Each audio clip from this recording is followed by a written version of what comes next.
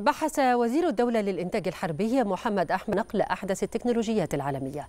أكد وزير الإنتاج الحربي خلال اللقاء حرص الوزارة على توطين ونقل أحدث التكنولوجيات العالمية في مجال الصناعات العسكرية داخل الشركات والوحدات التابعة لها.